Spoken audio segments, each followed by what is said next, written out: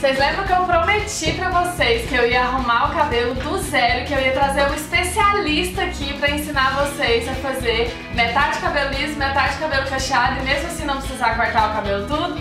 Promessa é dívida.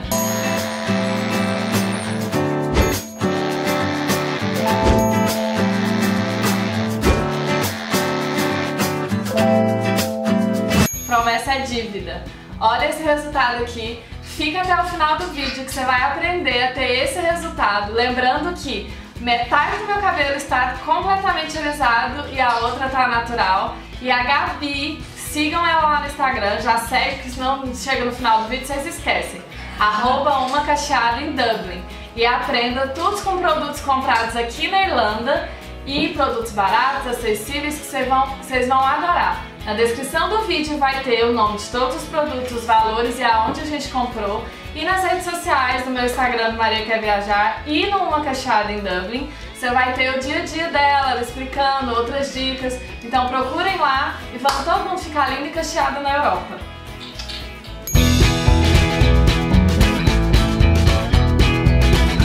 Então, toda vez que você for usar o, o condicionador, a gente tem cabelo cacheado, eu prefiro o condicionador em mousse. Porque eu acho que ele é mais leve, sabe? Tudo Ah. bem que nosso cabelo precisa de, de produtos que tenha óleo, né? Que dê uma. que dê uma hidratada mais pesada, que o nosso cabelo normalmente ele já é mais seco, né? Um cabelo mais seco. O cabelo cacheado é um cabelo seco Certo. né? Então eu gosto do mousse no meu cabelo porque a minha raiz é oleosa e minhas pontas são bem secas. Então o mousse não deixa aquele, a oleosidade do fio passar pro meu couro cabeludo, entendeu? Entendi. Por isso que eu prefiro o condicionador em mousse. Eu não sei no Brasil é, onde vende, mas eu acredito que deve vender, né? Porque A maior dificuldade das meninas que me mandaram pergunta quando viram o cabelo cacheado é encontrar produto aqui. Porque se você pesquisar no Google e entrar no youtuber atrás de transição, ah, você ele. vai achar ele, Sim. mas é tudo aquele negócio lá dos cachos, da sala online, esses Uhum. produtos que encontra lá. Uhum. Então o pessoal vai fazer intercâmbio, ou então morar fora do Brasil, principalmente nessa parte da Europa, que são as mesmas lojas espalhadas, Sim, sim. e não sabe o que comprar, fica importando do Brasil. Você consegue fazer compro- comprando tudo aqui. Isso, então, esses produtos que a gente tá usando hoje eu comprei no Texto. Pra quem tá aqui em Dublin, é um mercado super conhecido e, e que é e barato, né? Então você consegue usar produtos de boa qualidade, populares. O cabelo cacheado, infelizmente, é um cabelo que tem um, é, requer um pouco mais de cuidado e nem sempre é, o produto que é especializado para cacho serve para o nosso tipo de cabelo, entendeu? Tem muito disso também. Ah, Por isso que os cachos a gente define ele em vários, né? Tem vários tipos, tem o A, o B, o C. Nesse, dentro dessa linha tem vários tamanhos, né? Várias espessura de cacho. Então, por exemplo, tudo que a gente vai usar hoje, esse aqui é um condicionador para dar volume. Poderia ser uma pessoa de cabelo ondulado para dar volume, poderia ser uma pessoa de cabelo liso que quer dar um volume a mais, entendeu? Mas serviu pro nosso cabelo de cabelo cacheado. Então, assim, eu acho que tudo é, é querer também pesquisar e experimentar. Você tem que usar. Por exemplo, lá no Brasil eu usei o salão online, meu cabelo não se deu com o salão online. Então tem que testar, não adianta. Não né? adianta, tem que testar, porque o, o creme que serve pra mim, às vezes não serve pro seu tipo de. Mas nem sempre o que tá todo mundo usando é o que é bom pra você, entendeu? Foi o que aconteceu comigo. Deixar o condicionador também no cabelo não é bom. Só que esse, é um, por ser em mousse, você pode deixar, por ele é leve. Ah. Então, pro nosso cabelo é ótimo. Então só para as meninas, as meninas e os meninos também, né? Porque tem homem passando por transição aí e dá pra aproveitar esse vídeo pra você também. Qual é o passo a passo que para chegar até aqui? Eu lavei com shampoo normal, não passo condicionador e já venho com esse aí ou eu passo aquele condicionador lá no banheiro, aquele que a gente enxágua? Não, você poderia lavar e enxaguar com um condicionador qualquer, né? Que você usa em casa. Aham. Né? Hoje eu vou usar em você produtos específicos que tem aqui na Irlanda, aqui em Dublin, Certo. que são fáceis de encontrar. Então, você lavou, eu vou te passar um condicionador que eu uso e eu não retiro ele, porque por Certo. ele ser em mousse, ele é bem leve, então não vai é, deixar o cabelo pesado, ainda mais pra gente que é cacheada, né? E depois a gente vai usar um mousse que é pra fixar os cachos, porque a gente vai fazer uma finalização com babyliss. Então a gente vai precisar de um mousse. Então toda vez que for usar um mousse, você bota ele pra baixo e sacode pra baixo. Não coloca pra cima porque senão dá ar, então ele não, não sai. A quantidade, sempre... Ai, dá vontade de comer. Não dá? Parece... Bonito. Não, e é bonito e cheiroso, porque normalmente os mousses não são cheirosos, né? Pelo menos eu acho, tem cheiro de vômito. Deixa, gente. Esse é cheiro bom. Não tem? Esse arrasou, adorei. Isso, então. Aí você vai espalhar no cabelo todo. Pode passar com vontade, gente. Ele não vai ficar. Ah, eu recebi pergunta também de menina com medo de passar produto no cabelo pra cacheado, porque geralmente passa muito produto e dá caspa, oleosidade, ou Então- deixar o cabelo pesado. Ah, sim. Então, por isso que eu te falei que eu prefiro o condicionador em mousse, porque normalmente as cacheadas têm a, a, a raiz mais oleosa e o comprimento mais seco. Então, é, você.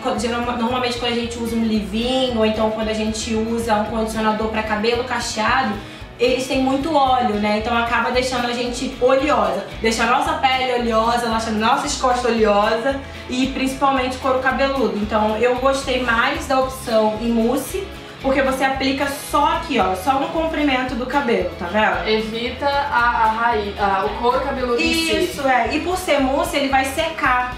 Então o cabelo não vai ficar pesado. Passa a mão pra você ver. E eu passei uma boa quantidade. Nossa, gente, o cabelo tá sequinho assim de produto, parece que não passou nada ainda. Nossa, ficou ótimo, ficou mais macio, né, do que tava Sim, e olha aqui, ó. pra pentear. É. E às vezes você pensa. Isso aqui é um cabelo que eu não penteei. Eu lavei lá com shampoo, penteei com os dedos no banho, Isso. mas é a primeira vez que eu penteando ele. Ou seja, era pra estar bem embaraçadinho e o produto facilitou. É bem leve, ele tem uma estrutura leve. E ó, super ajuda na hora de desembaraçar, tá vendo? Você nem precisa, então, tipo, pentear o cabelo no banho. Você pode só lavar ele, deixar ele bem molhadinho, né? Uhum. E, e aplicar o mousse. Então, agora que você penteou, eu vou finalizar você exatamente como eu finalizo o meu cabelo, tá? A gente vai secar um pouco, tirar um pouco da,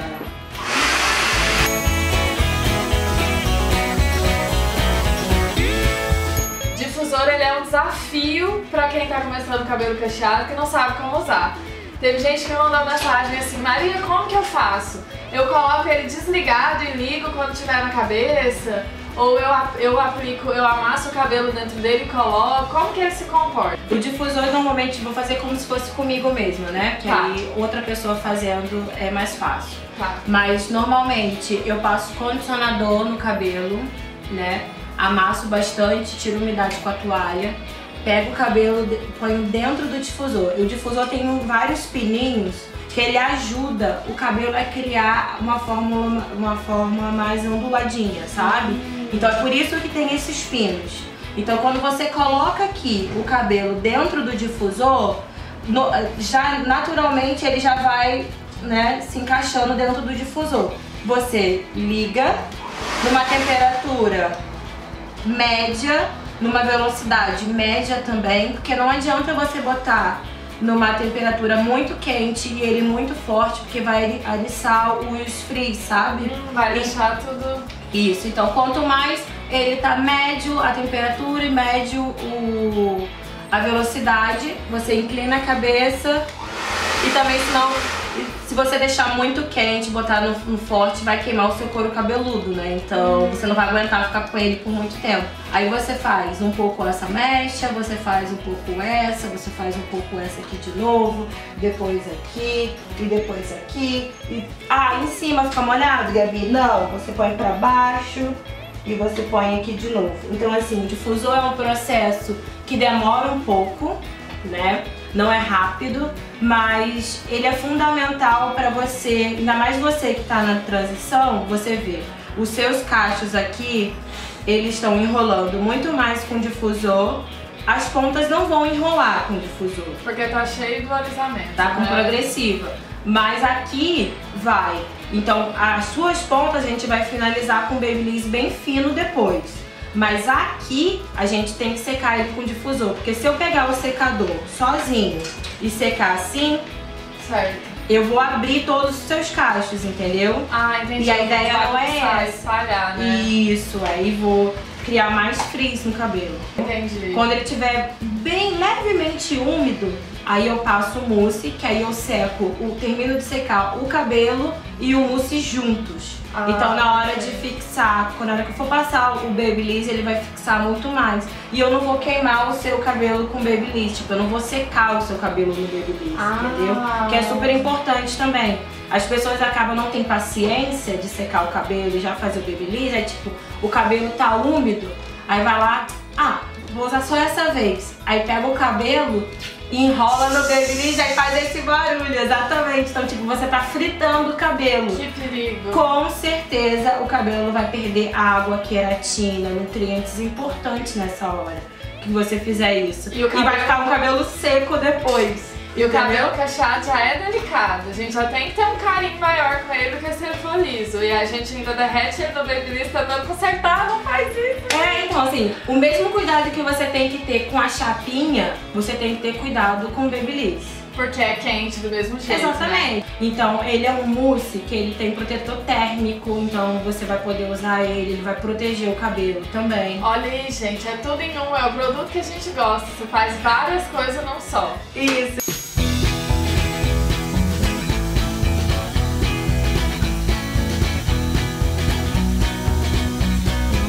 Esse é o mousse fixador para cabelo. Aí então a gente usou um cons- mousse condicionador. Isso. Deu uma secada. Isso. Ele já tá seco, né? Tá Quase. só. E aí agora coloca esse fixador. Isso.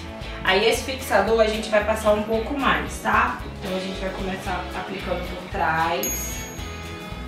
É só no comprimento, não encosta na raiz, mas no comprimento mesmo. Você vai ter a sensação que ele tá molhado, mas ele seca super rápido e não vai deixar o cabelo duro. Então, tipo, você não precisa como o mousse comum. Normalmente o mousse comum a gente vai, aplica e já enrola, né? Passa chapinha ou então passa o, o babyliss, senão ele seca muito rápido, né? E fica duro. E esse aqui não. Esse como é próprio pra, pra, pra cabelo cacheado, você pode passar a aplicar ele no cabelo todo e depois a gente vem com o processo de, de enrolar. Gente, é muito conhecimento hoje. Vocês anotam aí, cadê o caderninho? Ó, todo mundo bem aplicado pra fazer. Ou então vai assistindo o vídeo dando pausa e fazendo junto. Isso, isso. Normalmente quando você seca com secador ou então com difusor pra quem não tem, o cabelo vai levantar esses frizz aqui, tá vendo? Hum, Então, na hora que você for aplicar o mousse, faça assim, ó, para baixo que o, ele vai vai sair o, o frizz. Gente, o caminhar do negócio não é muito bonito, mas é porque vai dar certo. Vai.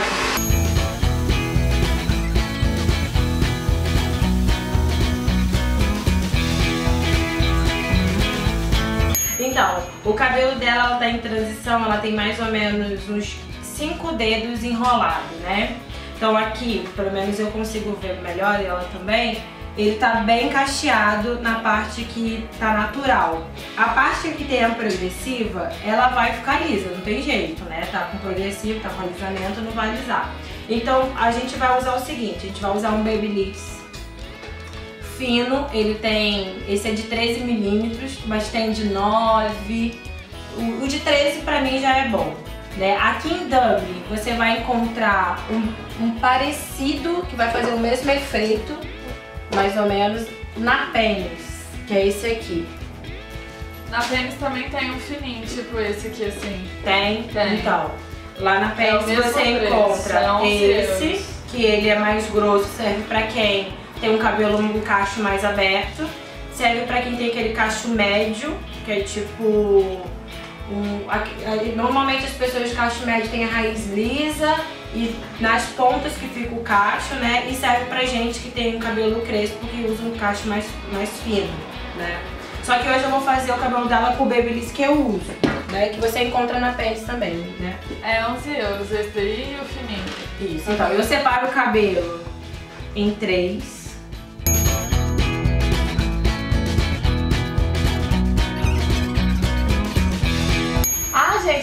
Gabi, ela é cabeleireira também aqui na Irlanda. Então, se você chegou e você tá em pânico igual eu, você pode pedir pra ela ir na sua casa que ela vai lá e faz o atendimento também, né, Gabi? Isso. Então, mas eu também não cuido só de cabelo cacheado, né?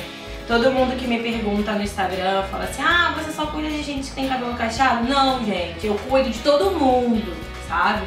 Só que normalmente as pessoas que chegam até a mim são pessoas que têm um cabelo igual o meu. Mas eu faço, eu faço progressiva, eu faço botox, eu faço tratar, vários tipos de tratamento.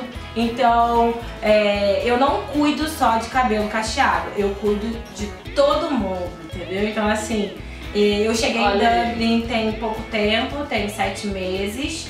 E agora a gente tá com um atendimento personalizado em casa, uh! né? Até a gente.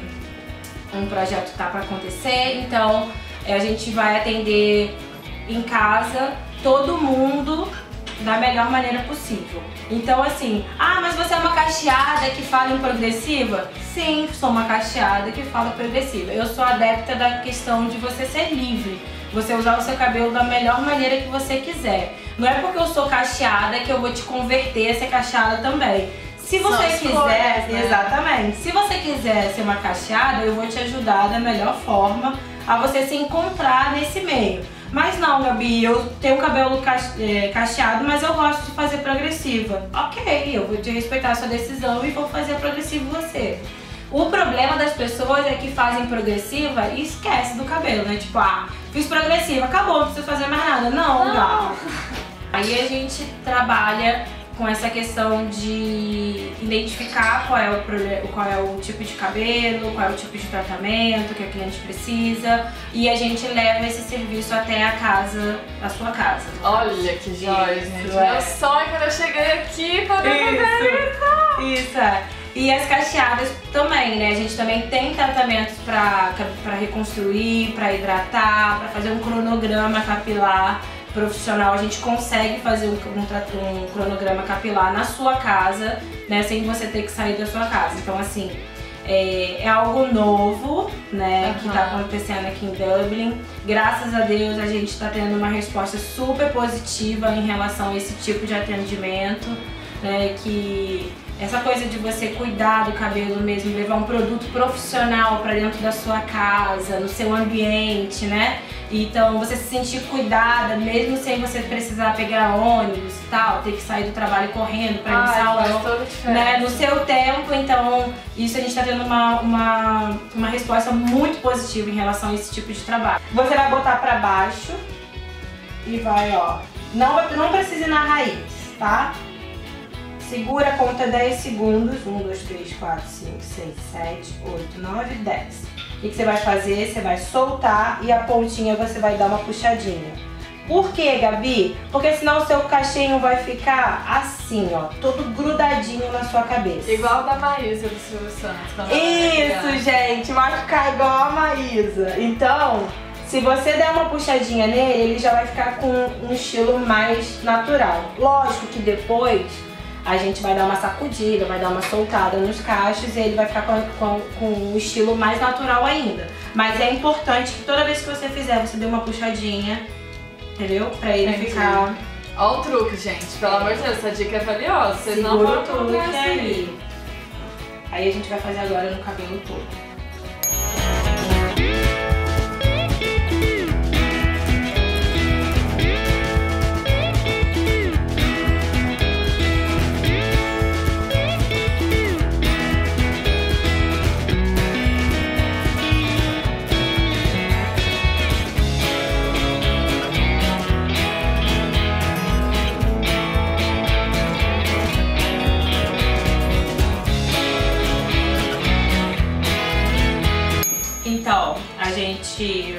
Enrolou toda a parte que tá alisada. alisada. Se vocês verem aqui, ó, a raiz dela tá natural. E você percebe que não tá duro, mesmo com mousse? Não, tá normal. Parece que nasceu assim, gente, ó. É, exatamente. Aí o que a gente vai fazer? Agora ela tá bem maísa, né, como ela tá dizendo. Mas a gente vai soltar esses cachos. Então você vai colocar a cabeça pra frente e a gente vai, ó, sacudir bastante para soltar o máximo dos cachos.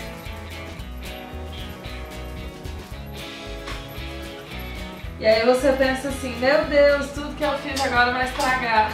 Não. Vai desfazer os cachos que eu fiquei uma hora fazendo. Não. Mas vai dar certo, tá bom?